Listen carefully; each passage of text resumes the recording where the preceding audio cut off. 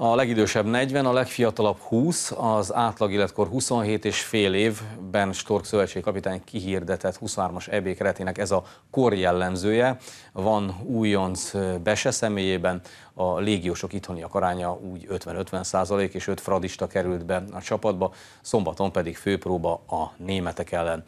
Eszterázi Márton 29-szeres válogatott támadó a vendégünk. Szia, jó reggelt kívánok! Szia, jó reggelt.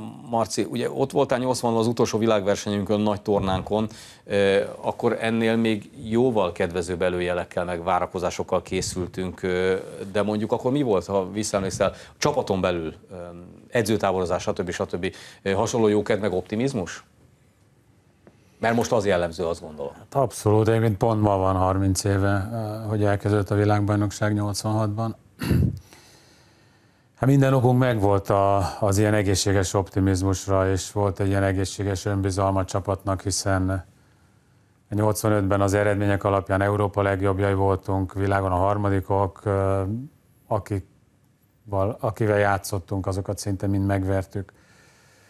Minket azért annyira nem kábított el ez a háromlás brazil győzelem, de mindenképp arra gondoltunk, hogy ebből a csoportból hát biztos tovább jutunk a, a, a 16 közé. Odáig gondolkodtatok egyébként?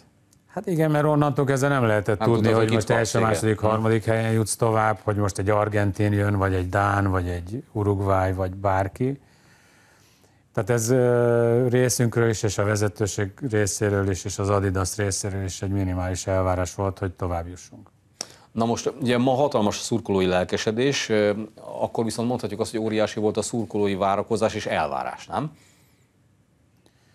Hát mindenkit elkábított ez a, ez a várakozáson felüli jó szereplés, gondolom én. Azért mi játékosok reálisabbak voltunk.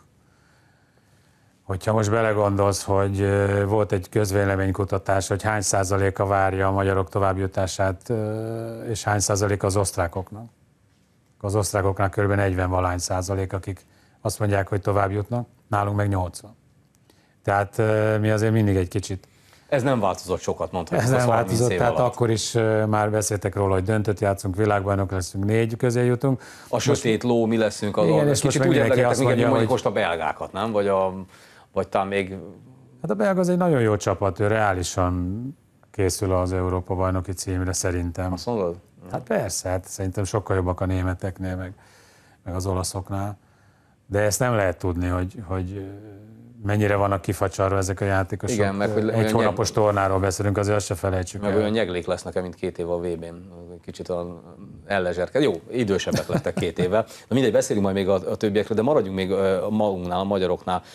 Te egyébként ma, hogyha nézzük ezeket a fú, hát tuti tovább jutunk, mert tudom, és az osztrák közvélemény az persze sokkal visszafogottabb, de úgy reálisnak érzed körülbelül azt, ha azt mondjuk, hogy hát csoport továbbjutás a harmadik helyen talán nem esélytelen. Na, én ennél optimistább vagyok, tehát én is benne vagyok a 80 százalékban. Ez már csak abból is látszik, hogy négy jegyet rendeltem, négy mérkőzésre rendeltem egyet, és amikor kérdezik a srácok, hogy megyek az ebben, mondom, igen, mind a, mind a négy magyar meccset megnézem, minimum mind a négyet. Tehát én azt várom, hogy tovább jutunk, de ugyanakkor meg elmondom azt is mindig, hogy ha megnézzük 78-ban, háromszor kikaptunk egy nagyon jó csapattal, hazakullogtunk. 82-ben egy győzelem, egy döntetlen, egy vereség, hazajöttünk. 86-ban két vereség, egy győzelem, hazajöttünk. Ez mind-mind szerintem úgy játékos állományban, mint taktikailag jobb csapat volt, mint a mostani. De nyilván nem lehet összehasonlítani. Most mégis én is beleesek ebbe a hibába. Miért is kötelező a továbbjutás? Jogos. Ízlegetjük a, az ellenfeleket, osztrákok. Ah, solgorok, játszottunk 120-szor, 100 megvertük őket, nem? Na de mikor? Izland. Tíz éve röhögő görcsöt kaptunk, hogyha Izlandal egy csoportba kerültünk.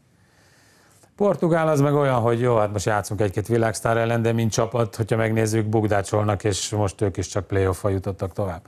Tehát így a csoport, ez mi ilyen gyors csoportnak hívjuk, ugyanakkor meg nagyon nehéz, uh-huh. mert nem véletlenül vannak ott.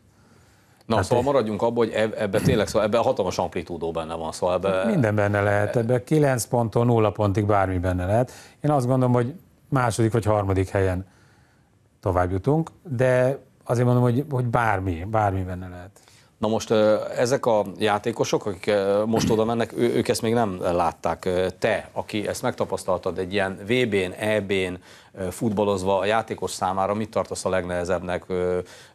Millió megszokása, nem izgulni, lezserende, fegyelmezetten játszani. Mi, mi itt a legnehezebb szerinted? Nem szeretném hasonlítani. Most csak egy példát mondok. Én most kim voltam a Bayern München Atletico elődöntőn, és ez egy egész más sportág. Tehát a hatodik sorban ültem, egyszerűen hihetetlen az a dinamika, az a gyorsaság, az a durvaság, az a, az, az erőszak, az a, e, tehát egyszerűen fantasztikus, mit fejlődött a futball. Tehát most elmondani azt, hogy 30 évvel ezelőtt, amikor a lepkával kergettük a kockalabdát, tehát teljesen, ez egy más sportág. Ugyanakkor mi ráadásul 81 egész extrém, körülmény, egész extrém körülmények között készültünk is, és játszottunk, 40 fok volt, oxigénhiány, dél. Most itt minden adott ahhoz, hogy a megszokott környezetbe készüljenek a játékosok. Hát nyilván mentálisan nagyon erősnek kell lenni. Most nem gondolom azt, hogy most fizikális problémák lesznek a játékosoknál. Tehát mentálisan az, hogy össze vagyunk zárva, nem a megszokott környezetbe készülünk, messze van a család, ugyanakkor egy ország figyel minket, tehát fejben nagyon rendbe kell lenni, és azt gondolom, hogy ebben is nagyon erős ez a mai, mai magyar stáb, vagyis a válogatottnak a stábja, ami elkezdődött a Dárdai Polival, és most folytatódik, hogy, hogy mentálisan nagyon erőssé kovácsolta a csapatot. Na most a most kiirdetett 23-as keretben van-e számodra meglepetés, akár bekerülő, akár kimaradó? Hát nem nagyon, nem nagyon. Uh, hiányérzetem nincs. Tehát itt már megkérdeztek egy-két játékossal kapcsolatban. Én ezzel úgy vagyok, hogy a kapitány dolgozik a játékosokkal, ő figyeli őket, és szerintem a legjobb, az, az ő szempontjával legjobb 23 játékos nevezte. Na meg hát azért nálunk nem az a helyzet, mint hogyha az ember most így játszadozik az, hogy megnézi a spanyol kimaradó csapatot, mondjuk egy B, meg kimaradó C csapatot, szóval azért itt... Hát, hogy a németeknél most három-négy világklasszis sérülés, meg egyéb dolgok. Marco Rice megint nem lesz ott ezen a világversenyen, igen. igen. Na most Besit már szóba hoztam Bese Barnabást, aki a védők között újonc, és te mit gondolsz, vagy mit látsz, hogy, hogy Ben Stork mit keres, amikor védőket keres? Amikor védelmet állít össze? Ez jó kérdés, mert ezzel, tehát a védeleme mindig hadilában álltunk, tehát az utóbbi időben elég kevés jó jobboldali vagy baloldali védőnk volt. Én azt gondolom, hogy a csapatnak az ereje az mindenképp az egységben van kevés a nagyon meghatározó játékos, ez ide tartozik mondjuk a Gerazoli, vagy a Nemanja, vagy a e, Nikolics, vagy a, vagy a Zsuzsák Balázs, de mint csapat nagyon erősek vagyunk, nagyon jó kiegészítik egymást a játékosok, tehát e, nem azon fog múlni, hogy most a jobb hátvéd vagy a bal hátvéd e, mennyire kreatív, hanem azon fog múlni az egész, hogy hogy tudjuk egymást kisegíteni, hogy tudunk tolódni előre, hátra, jobbra, balra, hogy tudjuk megszűnni az ellenfelt, hogy nem tudnak mögén kerülni, és ez nyilván nem egy-egy játékoson múlik, hanem a csapaton, hogy hogy tudják ezt megoldani, ezt a feladatot. Ebből a szempontból a védekezés korábbi problémája után azt szerinted már állíthatjuk, hogy ez a csapat Dárdaival, Bernstorkkal ezt a legalábbis európai átlagos vagy középszintű modern védekezést már tudja és megtanulta? Ez nem európai középszintű, nagyon jól védekezünk. Ha megnézed, ennél jobbat mondhatunk? Uh-huh. Hát ha megnézed, hány gólt kaptunk a selejtező mérkőzéseken, akkor azt hiszem kaptunk ötöt vagy hatot. Tehát ez egy fantasztikus teljesítmény. Nyilván, amikor egy csapat ennyire védekező taktikát választ, az a támadás rovárás, rovására megy, de mivel nem rendelkezünk olyan kaliberi játékosokkal, hogy ezt oda-vissza meg tudjuk oldani, e, így ez egy nagyon logikus lépés, hogy először a védelmet kezdve egy jó kapussal, de nem csak egy van nekünk, hanem most van három is. Sajnos egyszerre nem játszhatnak.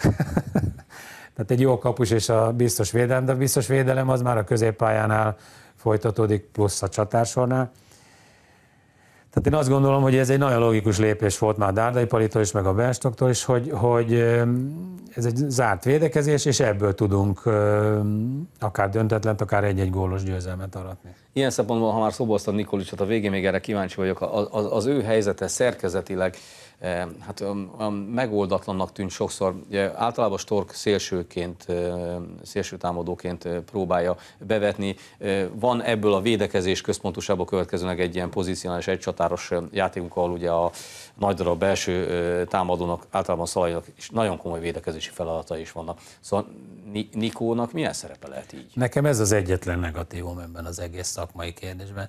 Tehát az, hogy egy gólkirálynak helyet találni, vagy posztot találni, Szerintem ez egy óriási hiba. Tehát ő egy center, tehát ő centerbe kellene játszatni, mondom ezt én velem se játszattak védekező középpályást, vagy nem tudom mit, én center voltam balszélső, jó az ajkban néha egy hátrébb, de az, hogy most a Nikolisnak egy új posztot találni, szerintem ez egy óriási hiba, ő centerbe kéne játszatni, most vagy a Szalai játszik centert, vagy a Dani, vagy ő, vagy a Priska, nincs jelentősége, én mindig őt elmondom, is ott kell bedobni. Én, őt is centerbe kell bedobni. Én mindig elmondom, fáj a szívem, amikor egy center, egy csatárról beszélünk. Nálunk, amikor már két csatár volt, akkor már hőzöntünk be, vagy 4-1-2-be, vagy 4-3-3 játszottunk. De nyilván ez a e, kapitánynak a, a feladata. Én nem szeretem az egy csatáros játékot, ahhoz nagyon komoly középpályások kellenek, hogy megfelelő támogatást kapjon az az egy csatár. Nagyon sokat kell futni, hogy oda kerüljenek a 16-oson belőle a támadó középpályások. Én Nikolicsot mindenképp centerben játszhatnám, aztán, hogy most játszatom vagy nem, az egy az már a szerkezettől függ, meg az ellenféltől függ, hogy most a Szalat játszatom, vagy a Bödelanit, vagy a Priskát, kit hagyok ki, ki az ötödik csatár?